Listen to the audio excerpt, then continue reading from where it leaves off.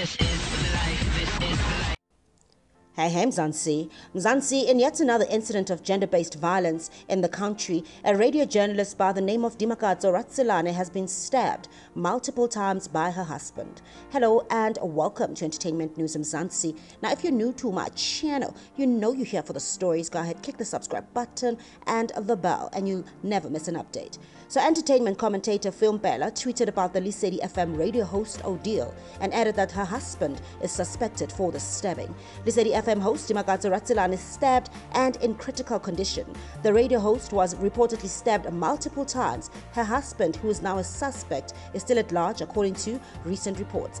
The South African Broadcasting Commission, Corporation (SABC) issued out a statement and condemned the stabbing. The statement reads as follows: The South African Broadcasting Corporation is saddened by the gender-based violence incident concerning one of its female news employee based in the Free State. The SABC wishes to express outrage and condemns the incident with the contempt it deserves.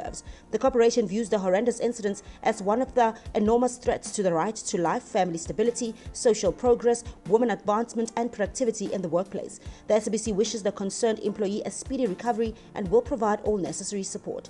As a public service broadcaster, the SABC remains an important institution for empowering citizens with value information to create awareness regarding various social ills, including the intractable and atrocious gender based violence. The SABC is committed to continuing playing its critical role in heightening citizen vigilance and consciousness in this matter.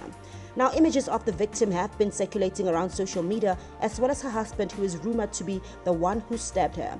Our celebrities have always remained vocal about issues of gender based violence, especially when incidents of gender based violence reached an, out, an upsurge. Now, the rapper Boity slammed men for their crimes against women. In a series of posts, Boity shared her grievances, stating, Dear men, all men, you do not own our bodies. You are not superior beings. We do not owe you our lives. We do not come from your effing rib.